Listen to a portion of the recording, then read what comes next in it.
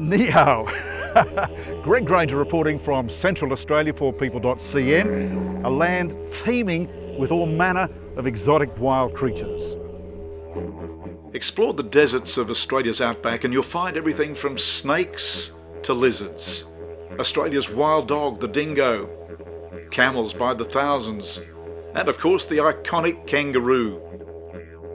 There's amazing creatures like the thorny devil and delightful bilby, all surviving in a harsh, arid environment where annual rainfall is below 100 millimetres. And further north in the top end, there are the giant killer saltwater crocodiles, all ready to snap their powerful jaws shut on unsuspecting victims. For People.cn, I'm Greg Granger, Ren Ming Wan.